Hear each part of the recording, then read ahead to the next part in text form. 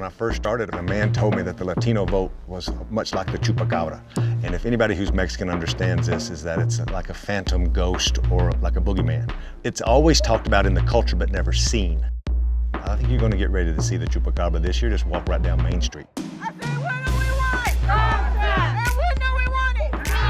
Campaigns know that in 2020 we are going to be the largest non-white voting bloc in this country and that we have the ability to sway this election.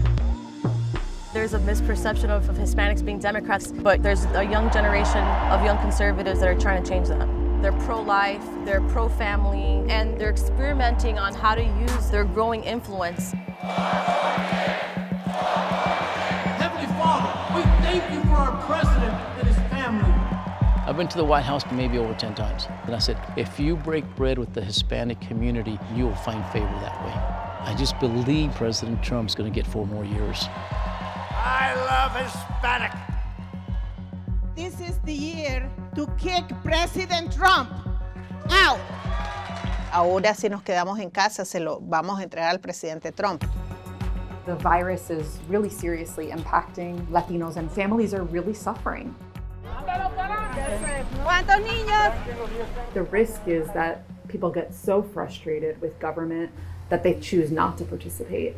We're doing everything we can to motivate people to vote in the most important election of our lifetimes in November. I don't think that you should talk about the Latino vote without thinking about Afro Latinos. By overlooking that, we miss an accurate understanding of what the Latino experience is. Locking up other people of color from cages to holding somebody's neck down, we're moving from sympathy to solidarity. Sometimes we feel powerless. I think it's super important to highlight you have a voice. You have a very powerful voice. It might be an angry vote, but it's going to be a vote nonetheless.